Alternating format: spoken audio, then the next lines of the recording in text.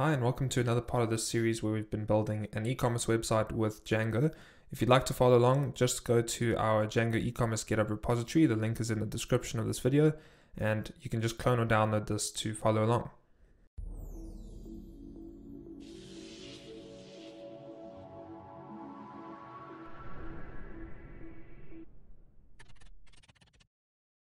Now, before getting started, I just want to point out that we are not going to be teaching how to store credit card information ourselves. That's not secure and it's not a good way to do it. We're rather going to be using Stripe to store that information as they are the payment processor and that's what they're built to do. So, this tutorial is going to focus on retrieving that information from Stripe and not storing it ourselves.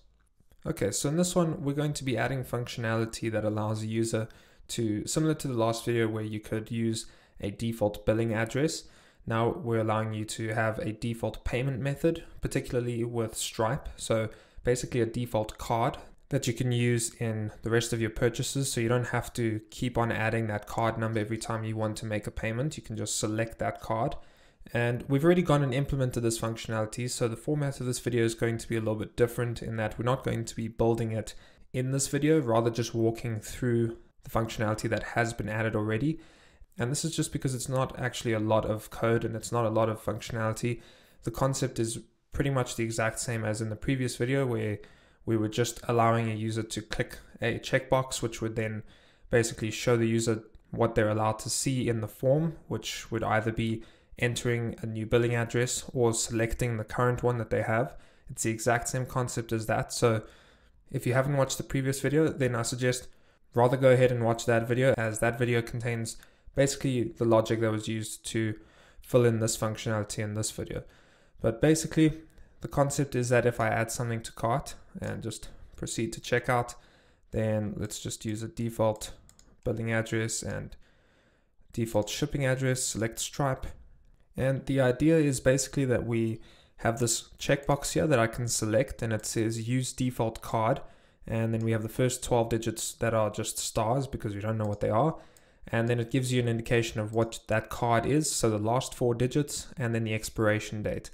And basically, like this, you can either select to use this default card and pay with this because this is linked to your profile, or you can go and add a new card over here as usual, and you can either save this for future purposes or not. So it's the exact same concept as the previous video and let's just go and walk through the code that was added to do this.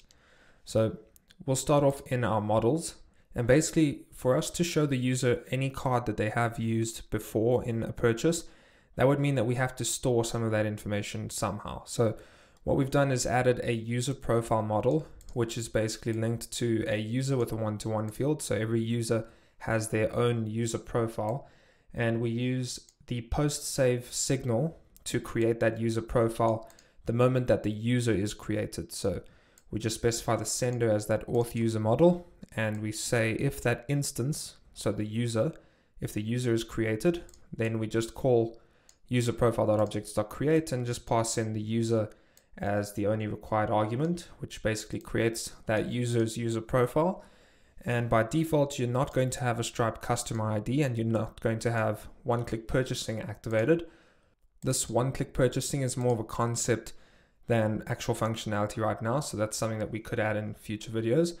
But basically, you have these two fields as kind of like settings on the user, and they can then go and configure this later on. So the Stripe customer ID will get populated if they decide to save their customer information when they check out. And that being if they were to say save for future purchases and enter that card information here, then we need to store that information. So what we do is here in the view, we'll just go all the way to the top of this payment view. So let's just look at the post method first. Basically what's happening is we're now receiving the token and some extra information from the form, which is firstly this save value, which is basically whether or not we should save the current card that the user just inputted into the form. And then use default means use the default card.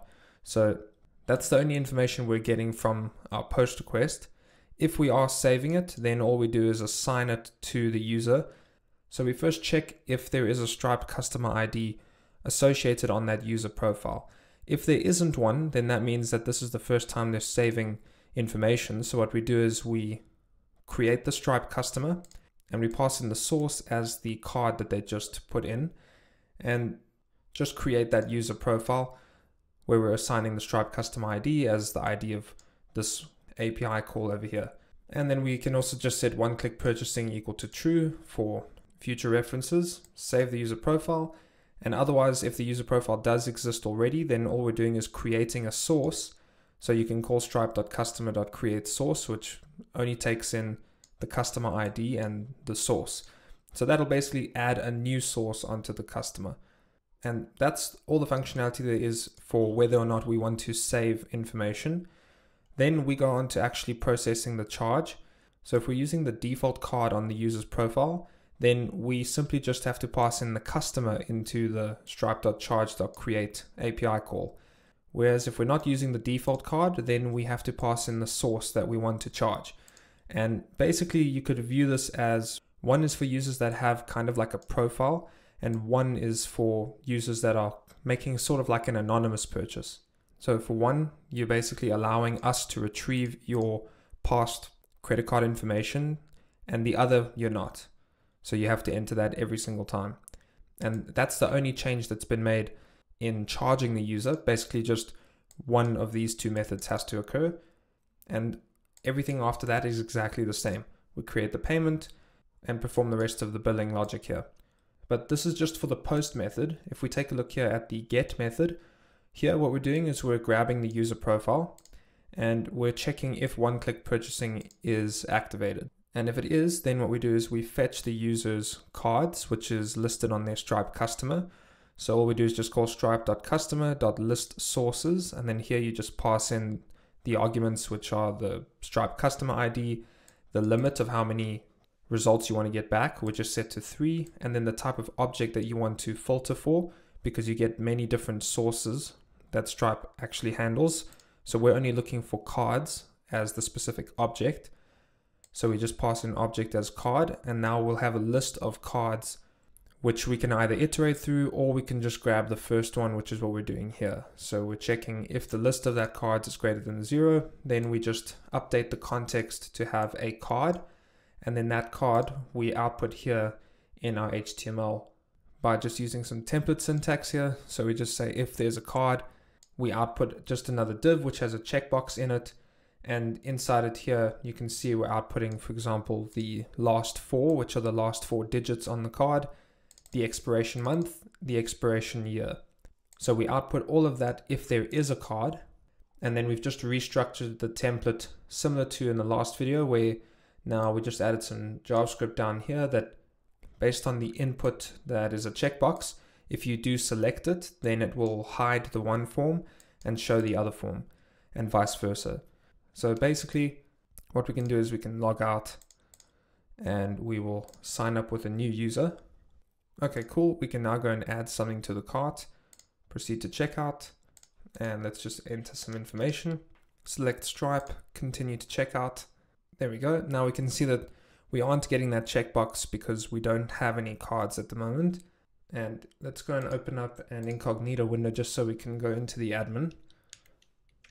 We can go to user profiles, go to that new user, and there we go. So no Stripe custom ID, and one click purchasing not active yet.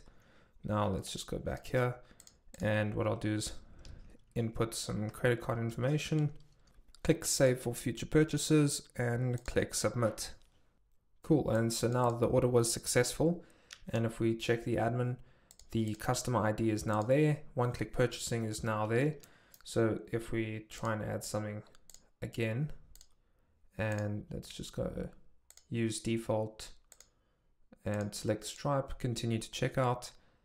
And now we have the option to use a default card. So we can select that, submit the payment, and order was successful. And so that's all we wanted to show in this video, which was basically just taking the same logic from the previous video of how you can save a default address in the same way by storing a default payment method, which in this case is in the form of a credit card and the best thing about it is that we aren't actually storing that information ourselves. We're always fetching that from Stripe, which makes it much better. So if you enjoyed this video, then Leave a comment down below. Let us know what you thought. Otherwise, thanks for watching. Don't forget to subscribe, and we'll see you in the next one.